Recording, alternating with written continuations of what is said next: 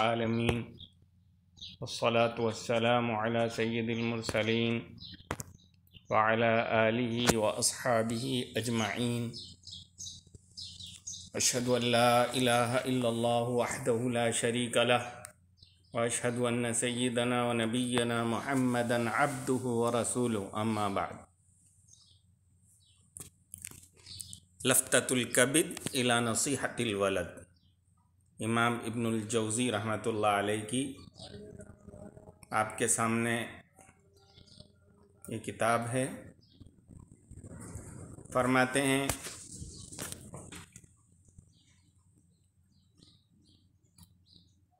वला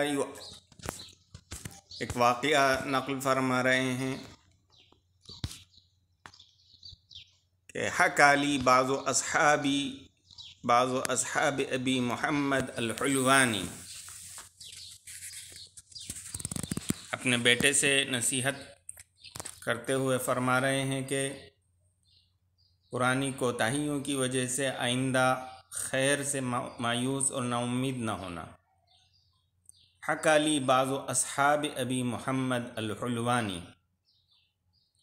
अबू मोहम्मद हलवानी के बाद शागिर्दों ने मुझे वाक़ सुनाया वो कहते हैं, माता अबी, मेरे वालिद साहब का इंतकाल हो गया था। व अनबन अहदा व इशरीन सनतन।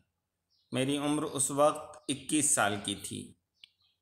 वकुन तो मौसूफ़न बिलबताला और मैं उस वक्त तक बेकार वक्त गुजारता था और बताला यानी बेकारी ला खैरा ला खैरा बनना, कोई काम का ना होना, उसको बताला कहते हैं।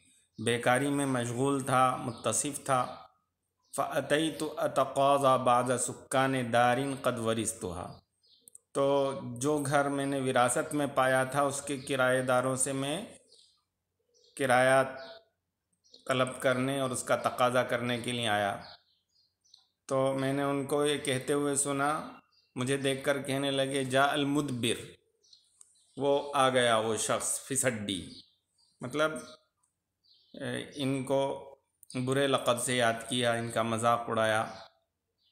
मैंने ख़ुद से कहा, युकाल अन्नी हाजा, कि मैं इतने बड़े वालिद का बेटा हूँ, मेरे बारे में ये कहा जा रहा है। यानी दिल पर चोट लगी। फ़जी तो इला वालिदती तो मैं अपनी वालदा की खिदमत में आया।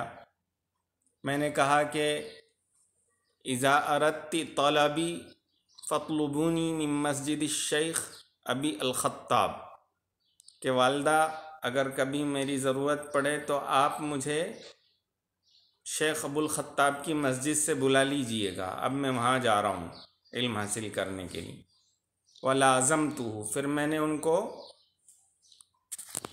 साय की तरीक़े से लाजिम पकड़ लिया शेख अबुल ख़त्ताब को और फमा खरज तो इल्लाक़ज़ा फिर वहाँ से मैं काजी बनकर निकला और अल्लाह ताला ने मुझे इल्म की दौलत से माला माल फरमाया। इतनी मेहनत की मैंने। मतलब ये वो वाक़ात सुना रहे हैं अपने बेटे को जिसमें लोगों ने बड़े होकर शूर हासिल किया और फिर उन्होंने इल्म हासिल किया, बड़े बने। उन लोगों के वाक़ात सुना रहे हैं। अपने बेटे को नसीहत फरमा रहे हैं कि अभी तक अगर तुम पीछे हो तो इससे ये ना समझना कि आइंदा भी तुम पीछे रहोगे और आइंदा के लिए मायूस ना होना।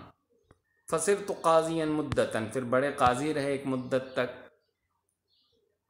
वराई तो अना, कहते हैं इमाम इब्नुल जौज़ी, मैंने उनको ख़ुद देखा है वह युफ्ती व युनाजिर, कि फ़तवे का काम कर रहे हैं, फ़तवे लिख रहे हैं, मुनाजरा कर रहे हैं मुनाक्षा कर रहे हैं। यानी बड़ी शान हुई उनकी आगे चलकर। अगली फ़सल फलज़म नफ्स का या बुनैल इंतबाह आइंदा तलुफ़जर तो ए मेरे बेटे, अपने ऊपर लाजिम पकड़ लो। अपने ऊपर लाजिम पकड़ लो कि सुबह सादिक के तुलु होते वक्त ही जग जाओ। बेदार हो हो। सुबह फजर, सुबह सादिक जैसे ही तुलु हो, उस वक्त बेदार होने को लाजिम पकड़ लो। वला तहदस बेहदीस दुनिया। और दुनिया की गुफ्तु ना करो उस वक्त। फ़क़त कान सलफ़ अस्सालिह रहमहुमुल्लाह ला यतकल्लमुन वक्त बिशै मिन उमूर दुनिया। क्योंकि हमारे सलफ़ सालहीन का ये मामूल था कि उस वक्त वो दुनिया के उमूर पर गुफ्तु नहीं फरमाते थे। सुबह का वक्त बरकत का ज़िक्र अज़कार का होता है तो दुनियावी मामलात पर गुफ्तु नहीं फरमाते। वकुल इंदन तिबाही का मिनन्नौम जब नींद से बेदार हो तो दुआ पढ़ो। अलहमद